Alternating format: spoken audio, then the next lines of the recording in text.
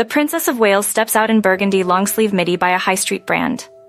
The Princess of Wales looks chic as she stepped out in a burgundy long-sleeve midi dress in Birmingham on Thursday, the 20th of April.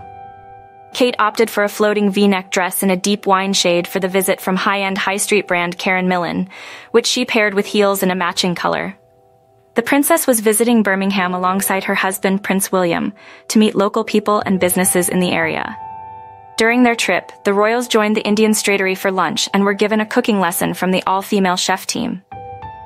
In a caption on their official Instagram account, the couple hinted that they might not have been the best students, saying, The Sharma family don't just bring authentic Indian street food to the city but do so much in the community too, including their all-female chef team training many better cooks than us.